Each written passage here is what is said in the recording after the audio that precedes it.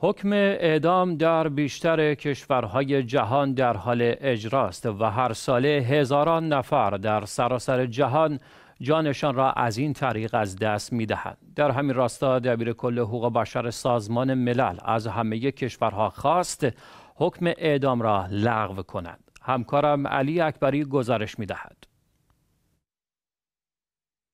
ولکل تورک دبیر کل حقوق بشر سازمان ملل از همه کشورها خواست حکم اعدام را لغو کنند. وی اعدام را جنایت خواند و گفت بر اساس استانداردهای تعریف شده در سازمان ملل متحد حفاظت از جان همه انسانها واجب است. در اعلامیه جهانی حقوق بشر نیز چنین آمده است. وی افزود در حالی که هفتاد و پنجمین سالگرد سازمان حقوق بشر را جشن می‌گیریم اما متاسفانه شاهد اجرای حکم اعدام هزاران نفر در سراسر جهان هستیم.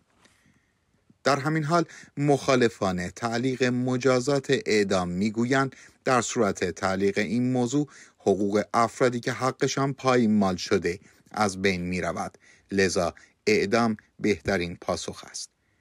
در همین حال برخی کارشناسان بین المللی مجازات کیفری را بهترین جایگزین برای مجازات افراد خاطی می‌دانند زیرا معتقدند با چنین مجازاتی خسارت و کرامت افرادی که حقوقشان پایمال شده جبران می شود علی اکبری اخبار شیعه.